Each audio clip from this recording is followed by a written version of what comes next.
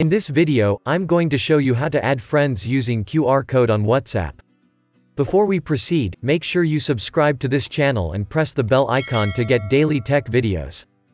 Let's get started. This is a new feature in WhatsApp that allows users to add new contact or chat. To do that, open WhatsApp on your phone and tap this new chat button to select a contact. Here, you get a QR code icon next to the new contact option. Tap this icon. It shows your QR code which you can share to allow others to add you. In the adjacent tab, you get an option to scan a code to add friends.